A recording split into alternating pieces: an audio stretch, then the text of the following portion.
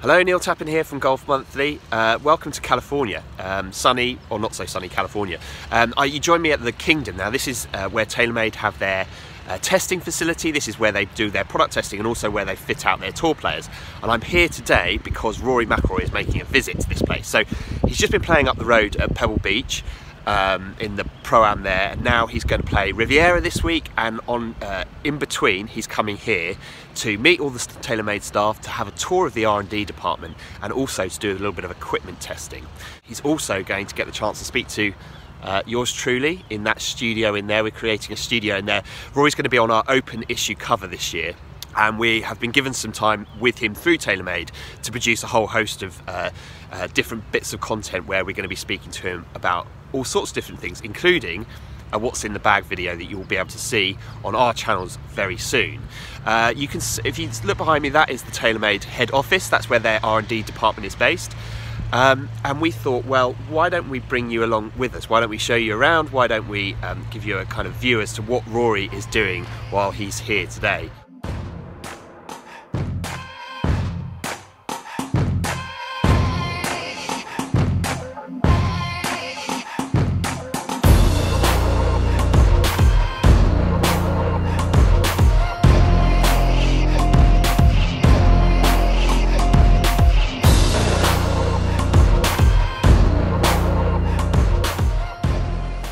Okay, so Rory's arrived. He's here. He's working on his putter. He's in the putter lab at the moment, going on some, uh, making some tweaks to his putter setup. I think at the moment.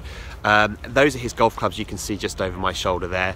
Um, and he's going to come out. And interestingly, what I've just heard is that what he's doing this uh, today here is kind of trying to come up with some setups for fairway woods that work for Augusta. So he's thinking about possibly putting a five wood in the bag, also alternatively a two iron in the bag. Just, just to be clear, it's the 12th of February today, so it goes to show just how much in advance these guys are thinking about and are working on their games ahead of the biggest tournaments in golf.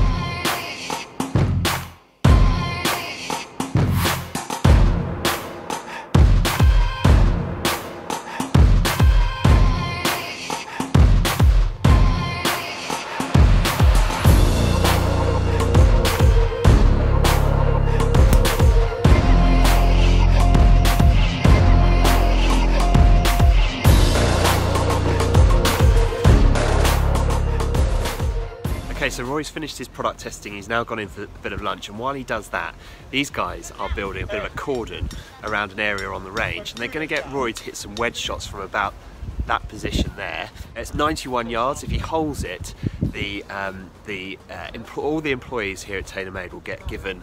Um, will get given the day off on Rory's birthday. So, um, as uh, one of the guys said to Rory, this is the most important thing you'll do today, and uh, I think he's starting to feel a bit of pressure on his shoulders.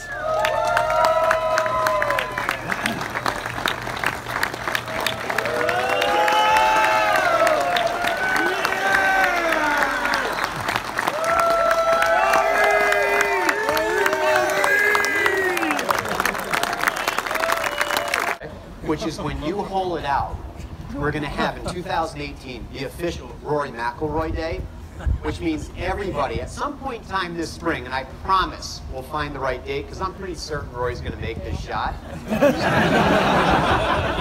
a lot of pressure. There's a lot of pressure on him. But even if he doesn't, we're still going to have a Rory McIlroy Day. So regardless, Okay, perfect. and everybody is going to get a day off.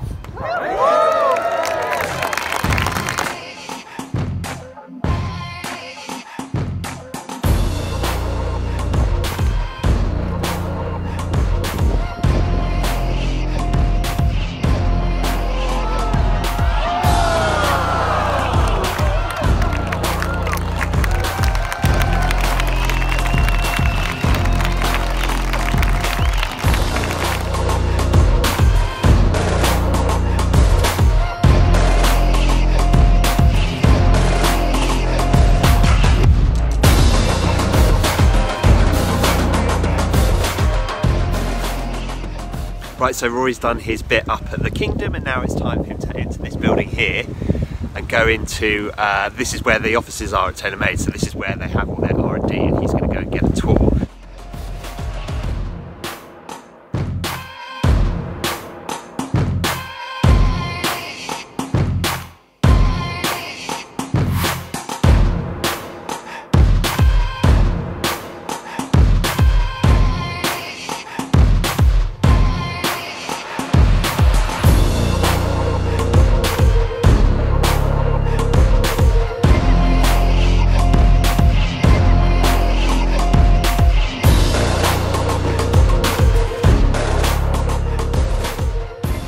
Right, so that's the end of, uh, of our day here at the TaylorMade headquarters. What a day it's been.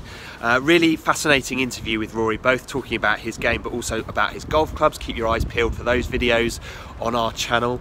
Um, if you've liked what you've seen, please do give us a thumbs up. One thing I'll say about having just finished the R&D part of this, um, the tour, it was Rory's idea actually to come and to do the R&D tour. He wanted to see the process that goes into making the golf clubs, the golf balls that he uses out on tour, and he wanted to come and see it for himself and he wanted to thank the people people that do it.